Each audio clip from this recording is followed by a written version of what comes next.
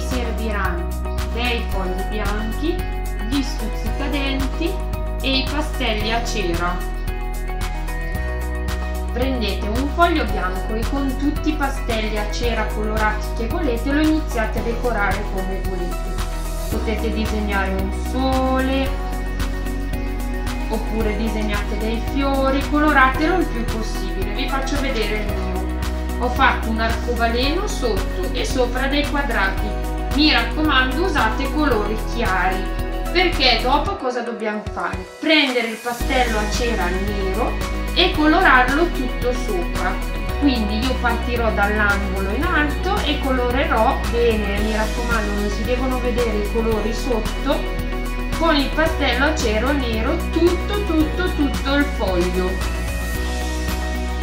Bene, ora che avete colorato tutto il vostro foglio per benino di nero e non solo il vostro foglio ma anche le vostre dita diventeranno così è il momento di prendere lo stuzzicadente.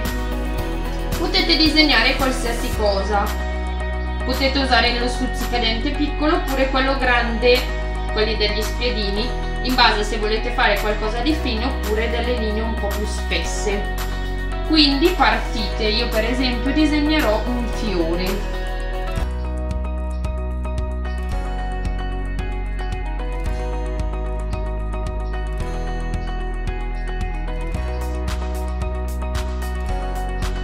Le linee sono troppo fini quindi uso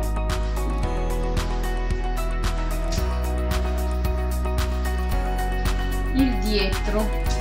Sbizzarrite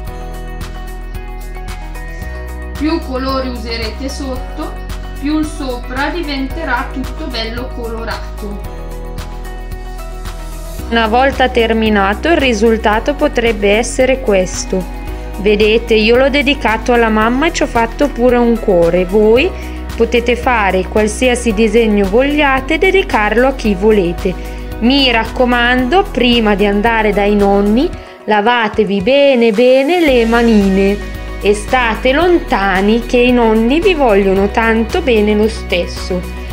Perciò ricordate che in questi momenti oratorio MIT ai mali estremi, oratorio e rimedi.